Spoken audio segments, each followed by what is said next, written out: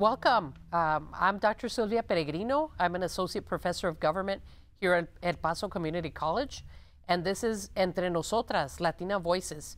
Uh, today, we're honored to have our first guest, uh, State Representative Cesar Blanco uh, from House District 76. Uh, Representative Blanco is currently running uh, for the seat vacated by uh, Senator Jose Rodriguez, and so he's running for Senate District 29.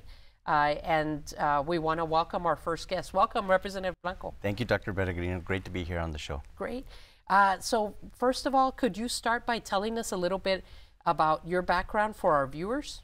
Sure. So I, um, I'm a product of El Paso, uh, El Paso Public Schools. I grew up here, uh, graduated from Eastwood High School. Um, following my graduation, um, I was working and uh, part-time and going to UTEP. Uh, and then I decided to enlist in the, in the United States Navy. And I served in the United States Navy for a little over six years. Uh, two jobs that I had in the Navy was uh, air defense, was my first tour. Um, and then my second tour uh, was uh, military intelligence and uh, gave me a great opportunity, great experiences uh, to serve my country. And then I came home, uh, back home to El Paso, and attended UTEP using the GI Bill and received my Bachelor's uh, of Arts in Political Science with the Political Science Department at UTEP. And then, um, you know, spent many years working for several members of Congress, Congressman Silvestre Reyes, I worked as a, a caseworker and a field representative. Then I had an opportunity to work for Congressman Ciro Rodriguez, uh, and I kind of moved up the ranks with Congressman Ciro Rodriguez all the way up to, to becoming his chief of staff in Washington, D.C. And then, um, you know, I had a variety of other positions uh, with Congressman uh, Pete Gallego, serving him as his chief of staff, and I worked at the Democratic National Committee as the uh, Western States Political Director, which was a really exciting uh, position because whenever President Obama, uh, the First Lady, or any of the cabinet uh, secretary members would travel to the states that I had oversight, all the Western states from Texas all the way to Alaska, um, I would travel. I would staff the President of the United States, write the political briefing memos for the president and uh, really get part of that process. So it was really exciting times to, to be uh, living and working in Washington, D.C. Um, and then I came home, uh, decided that uh, I wanted to serve my community, continue to serve my community in El Paso, using my skills and my strengths that I had learned uh, uh, in Washington, D.C., and apply them for the betterment of my community. So I came back home and I decided to run. Uh, part of it was frustration uh, with the direction of our community. And um, at, at, some point, you can only complain uh, and not take action. And I decided to, to run for office. And, uh, and so I've been serving in, in the legislature. Uh, I'm on my sixth year uh, as a state representative. And as you had indicated, our state senator, Jose Rodriguez, who did a great job representing us in, in Austin at the state capitol, decided to retire and I decided to throw my hat in the race, and uh, and now running for state senate, uh, which uh, is a pretty large district. So uh, that's a little bit about my my background. Since we're talking about this, uh, tell us about uh, Senate District 29. So Senate District 29 is very diverse. It's very big. It covers five counties, starting from El Paso County, Hudspeth County, Culberson County, Jeff Davis County, and Presidio County. Uh, so it's a very large district. And um, you know, on the western part uh, of, the of the uh, district is El Paso, which is very urban, um, and then the, the, eastern part of the district is very rural. So there are a lot of different challenges uh, from El Paso to the other parts of the district.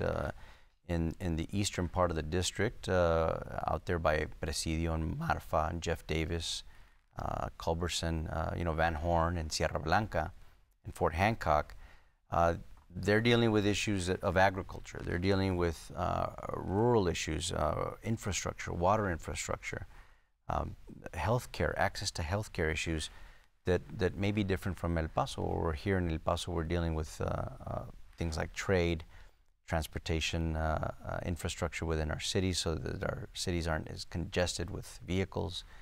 Um, so uh, pretty diverse, but exciting to be able to uh, hopefully dive in and, and help solve some problems for, for West Texas. In your time in the state legislature, what has been your three biggest accomplishments? What are you most proud of? Some of the things that, that I'm proud of uh, uh, during my freshman term, uh, legislators tried to eliminate a veterans educational benefit called the Hazelwood Act. Um, the Hazelwood Act provides veterans who enlisted uh, from Texas the opportunity to utilize uh, free tuition in uh, state institutions or community colleges.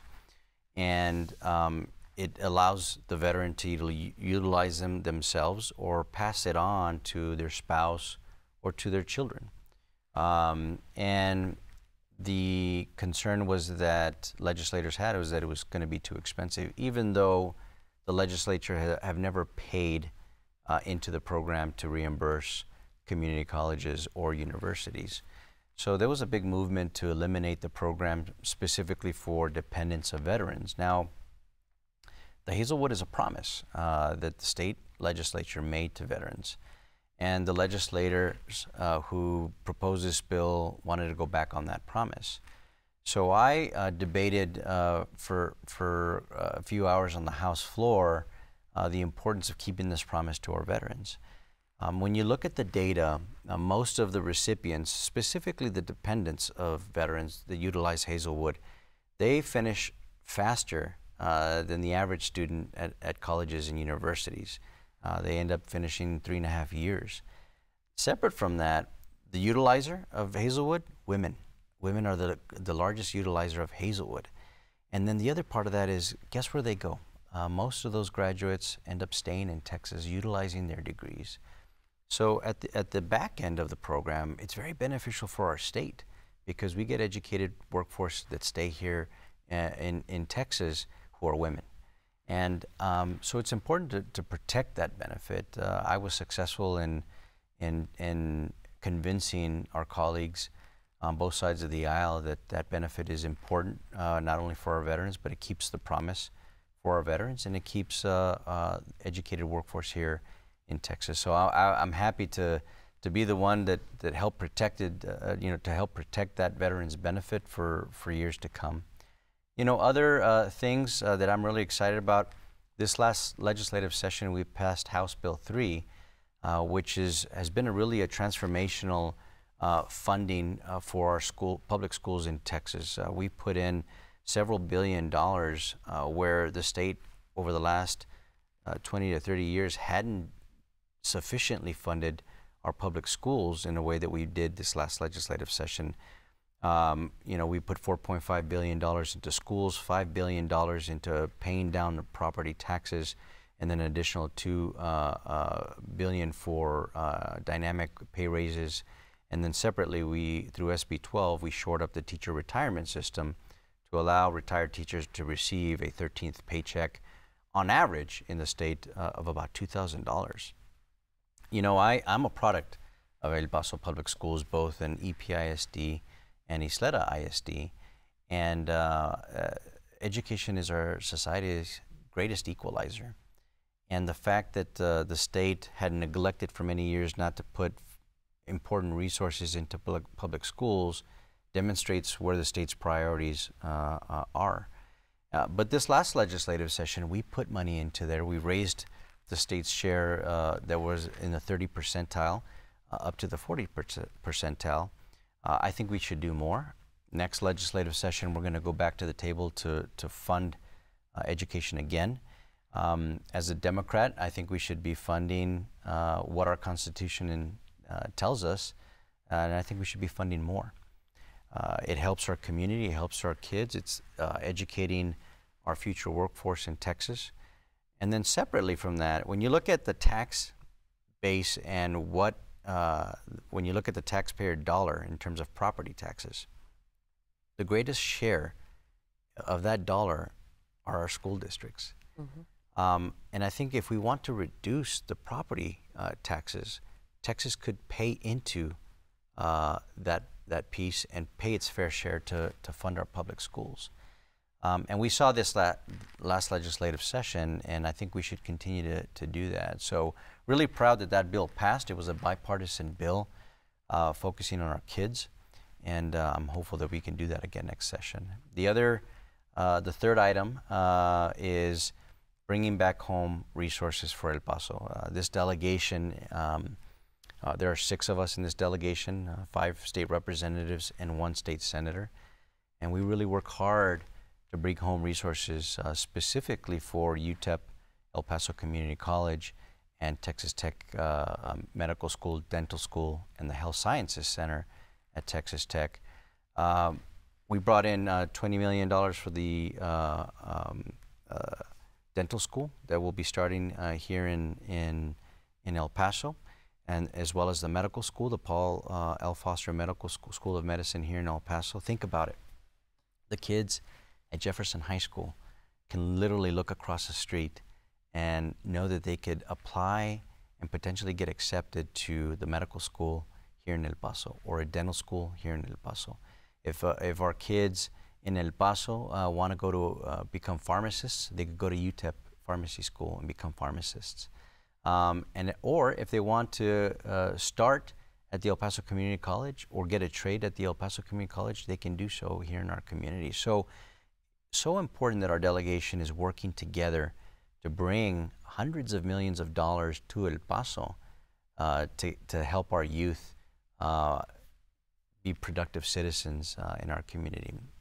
The, the ripple effect of that is that we're helping our, our healthcare shortage here in El Paso. We don't have enough doctors, dentists, nurses, uh, pharmacists to provide quality care in our communities. And the idea of elected officials, along with our business community who are philanthropists, who are, who are giving their own money into these higher education institutions, we're partnering uh, to making sure that El Paso as a community benefits uh, with greater access to health care. So really proud of that third item to be part of uh, uh that team of elected officials, philanthropists, and educators uh, to help our community move forward. Those are wonderful accomplishments. I, I also wanted to add, uh, because usually I have my students do a report about their, their state legislators so that they know about it.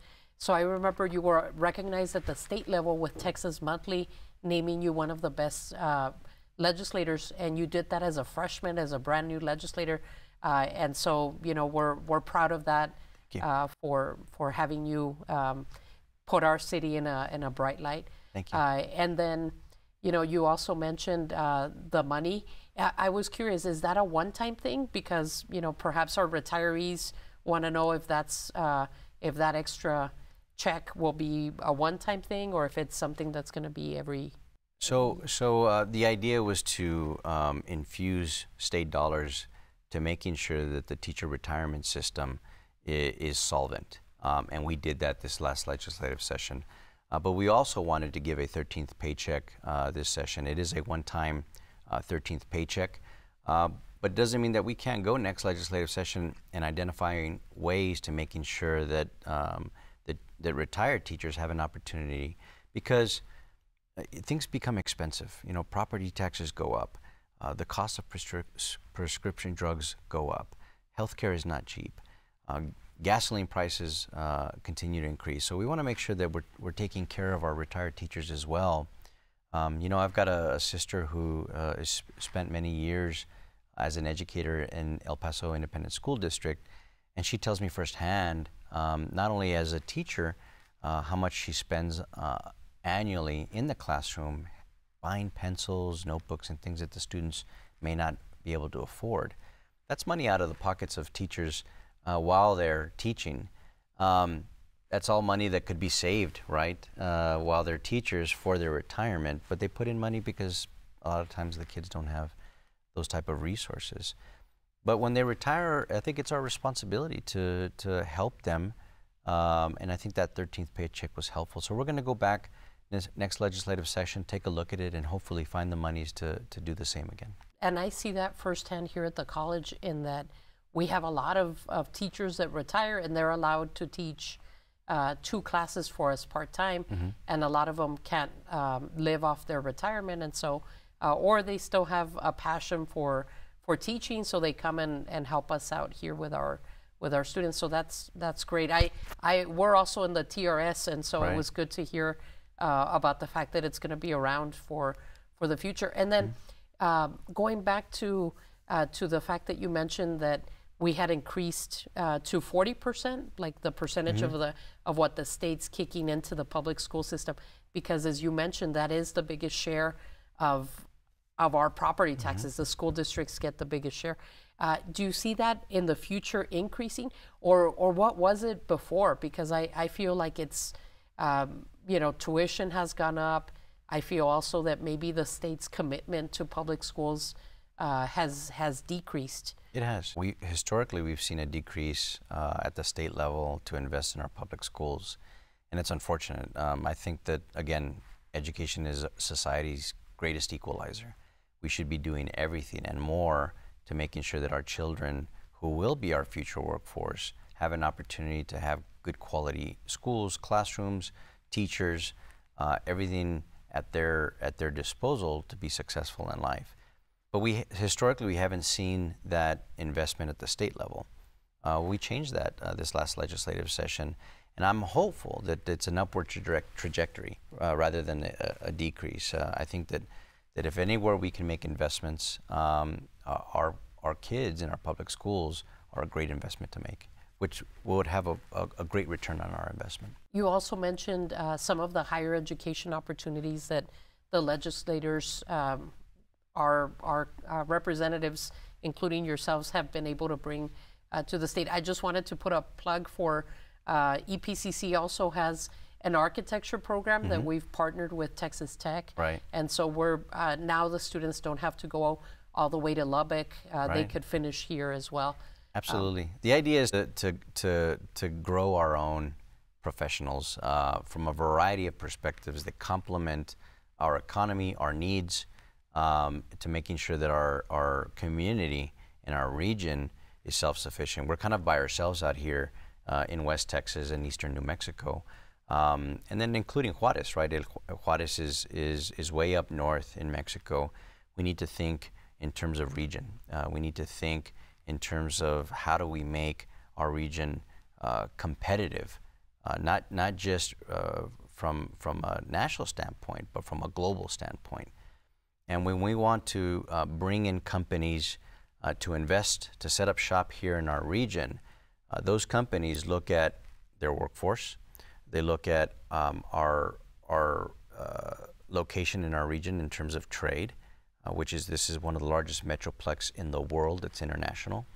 Uh, they look at healthcare. They look at their schools. They look at educational educational attainment levels. So we want to make sure that we, as elected officials, are doing everything that we can to make our region competitive, um, so that we can uh, recruit more industry into our region. So I think um, making those investments in public education, making those investments in higher education, with with the view of what those benefits are for our community regionally and how it makes us more competitive, I think is key.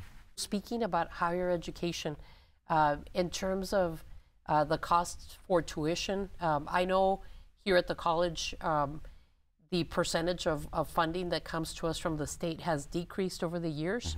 Uh, we do still try to maintain a, a competitive, uh, affordable, uh, high quality education. But I know uh, UTEP and other universities every other year tend to in- increase uh, their their uh, tuition costs. I know the legislature in 2003 gave them permission to set their own tuition costs. Is there a move to rein that back in with uh, having the legislature take that over, or or more funding for for the public uh, for the higher education? Sure, I think it's a it's a huge barrier, right? We're seeing um, uh, folks living with their parents longer because of, of the cost of higher education. Um, and you're right. Uh, before my time in the legislature, they deregulated tuition. Uh, since then, we've seen uh, a, a, a drastic increase in the cost of, of obtaining a higher education. It used to be that someone could go to college, um, utilize financial aid, scholarships, or pay out of pocket, work a part time job, and also pay. Um, you get out, of college and you wouldn't be in so much debt. You'd be in some debt, but it would be manageable. Um, now, students are coming out and, and they can't even go and buy a car, um, a home, and things like that. They'd have to wait some time, um, get into a profession, and then, and then uh, work their way out of their parents' home uh, before they can be self sufficient. Uh, I don't think that helps us. Um, so next legislative session, uh, the legislators have been talking that it may be a higher education uh, legislative session, among other things like redistricting, uh, fully funding public schools, uh, et cetera. But uh, it could be a higher education, and we could look at that. We could look at uh, the cost of like tuition, home, um, and I'm hopeful that we can because we want to make know, sure that we shouldn't. We're if you graduated from the El Paso Community and so we're not College or UTEP.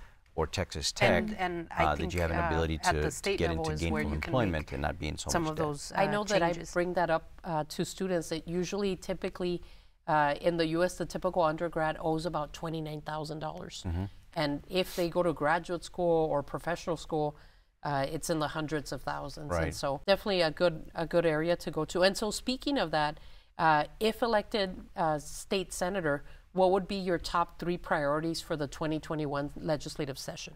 So I think uh, continuing to build on our higher education portfolio, making sure that the resources are available there. Uh, we have a brand new dental school uh, uh, that's that's uh, beginning. Uh, we want to make sure that we have an ability to to secure resources for more buildings at UTEP, EPCC, and Texas Tech, making sure that that we're competitive with other universities with state-of-the-art classrooms and laboratories, um, uh, making sure that there's great office spaces for uh, for the recruitment of quality uh, instructors and professors.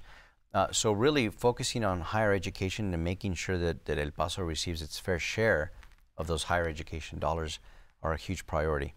Uh, we need to go back and fund our public schools. Uh, we want to. We're going to take another uh, crack at that next legislative session because this last session we only funded up to this biennium, so that expires. So we need to go back and look at those for, uh, funding formulas and put more money into it. I'm hopeful.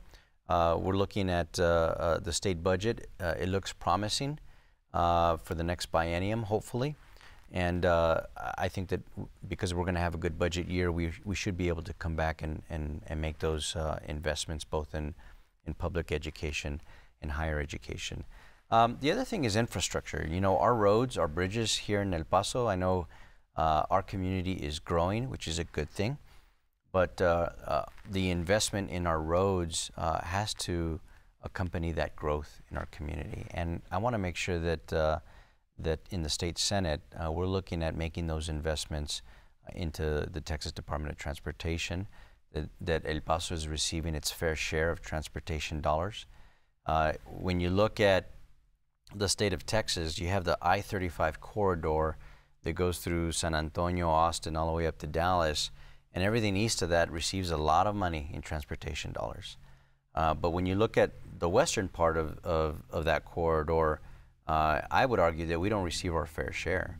So it is my hope to be able to, to work hard in the state senate to secure those, those uh, infrastructure dollars because we need them. Uh, we have several ports of entry here in El Paso where we have trucks uh, that are coming in from Mexico that are idling at our ports of entry that have a, a, a negative effect on our environment. We want to make sure that uh, we continue to secure dollars. Like this last legislative session, this delegation secured uh, over $30 million for the, uh, uh, I, it's called ITS, Intelligent Transportation Systems, to making sure that our ports of entry are receiving trade, but we're getting those trucks uh, to pass in a fast, secure manner. So more investments in those type of uh, technologies in transportation, uh, because trade is, is, is part of our lifeblood here in in, uh, in our region, um, and then making sure that that uh, that that our our highways here in El Paso are able to absorb that trade. Uh, so there's no bottlenecks in our communities and our neighborhoods, and making sure that uh, those transportation dollars are there. Uh, you look at our our interstate here in El Paso, I-10. When you drive through I-10, you can see literally see the street, the the highway splitting. Uh, if we're going to be competitive uh, from a global perspective, we want to make sure that our highways are, are resurfaced um, and that they're safe uh, and that they're wider so that uh, we can accommodate trade and, and, and our transportation um, uh, folks that are trans- traveling through our, through our roads are safe. So securing transportation dollars and our fair transportation dollars is going to be key. So we're coming uh, to to the point where we're running out of time Okay. for for the first uh, inaugural show. Uh, however, we do want to continue the conversation, and so uh, we'll have part two of our interview with uh, Representative Cesar Blanco, who's running for for state senate. I do want to remind uh, the audience, the viewers, that early voting is coming up uh, February 18th through uh, February 28th, and so you can find the early voting location through El Paso epcountyvotes.com. they also have an app and then election day is March 3rd. And so uh, if you like what you hear from Representative Blanco, uh, be sure to vote for him in the primary, uh, which is coming up, uh, the Democratic primary, and then uh, he'll be facing an opponent uh, in, in November um, from the Republican Party, Representative or Mrs. Hatch. And so we hope to have her in the, audi- in the show in the future so you could hear from uh, from the candidates or perhaps get them to debate. Uh, and so this concludes our, our first show. Representative Cesar Blanco, thank you so much thank for, you, for letting us know uh, what's going on in the legislature and good luck. It's great to be here. Thank you. Thank you.